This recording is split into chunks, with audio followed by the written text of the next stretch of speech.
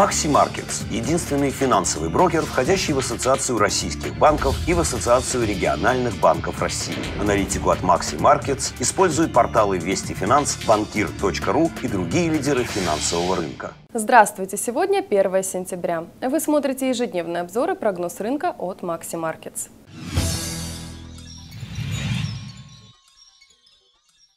После публикации в пятницу предварительных данных по европейской инфляции, оказавшейся вопреки прогнозам даже несколько выше рыночных ожиданий, курс пары возобновил рост.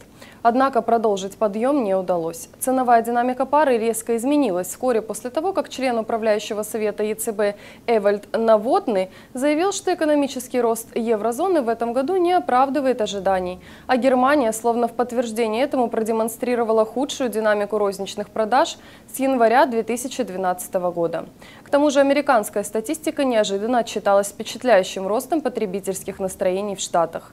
В результате евро-доллар не смог удержать позиции и от достигнутого максимума 1.3195 начал снижаться, зафиксировав на исходе торгов дневной и недельный минимум на отметке 1.3131.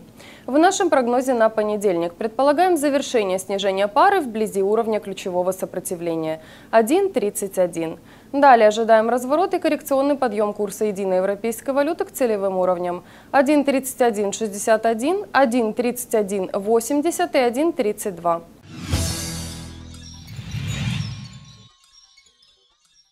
Курс пары на торгах в пятницу не изменил предыдущей динамики и продолжил волатильно торговаться в узком боковом диапазоне, ограниченном уровнями 1.6613 1.6563.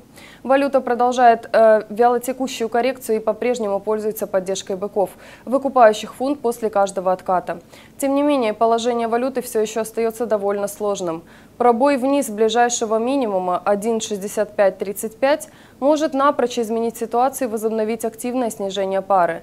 На этом фоне сегодняшняя публикация отчета по деловой активности в промышленности страны может стать катализатором активного движения пары и помочь ей вырваться из диапазона. В нашем прогнозе на сегодня предполагаем разворот курса британской валюты на подъем к целевым уровням 1.6625, 1.6640, 1.6668.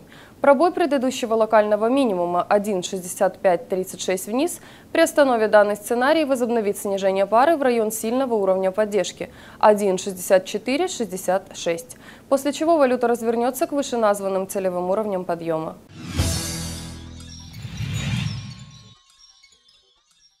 Наши рекомендации по движению драгоценных металлов на понедельник. Волатильная динамика торгов в пятницу лишь незначительно изменила позиции золота относительно его основных уровней поддержки и сопротивлений. Ближайшее краткосрочное сопротивление для него находится сейчас на уровне дневного разворота – 1287 долларов.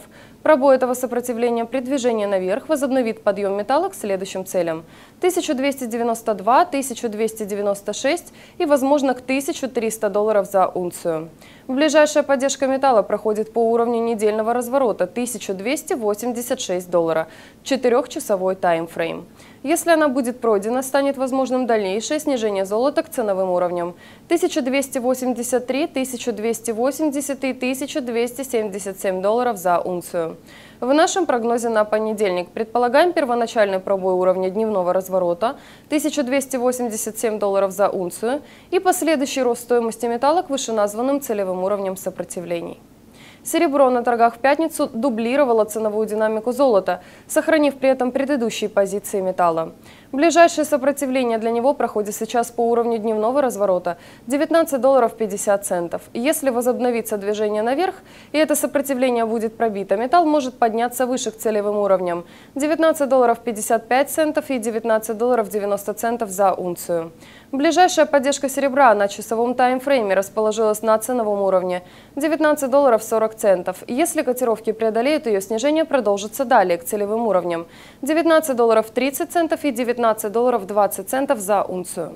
В нашем прогнозе на сегодня ожидаем возобновления подъема металла к вышеназванным целевым уровням сопротивлений.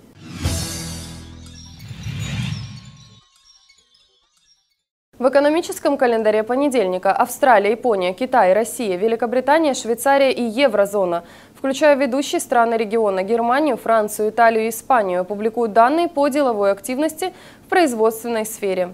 Кроме того, Австралия представит данные по инфляции за август. Германия публикует прирост ВВП за второй квартал текущего года, включая объемы экспорта и импорта продукции. А в Великобритании выйдут июльские данные по объемам потребительского и ипотечного кредитования. Объем займов частным лицам, а также количество одобренных заявок на получение ипотечного кредита. Франция в этот день проведет аукционы по продаже 3, 6 и 12-месячных облигаций государственного долга. США и Канада празднуют День труда. Статистика не публикуется, американские рынки закрыты. Более подробную информацию по движению валют на рынке смотрите на сайте maximarkets.ru. Желаем вам удачных и прибыльных торгов на рынке Форекс. Maxi Markets – единственный финансовый брокер, входящий в Ассоциацию российских банков и в Ассоциацию региональных банков России. Аналитику от Maxi Markets используют порталы Вести Финанс, Банкир.ру и другие лидеры финансового рынка.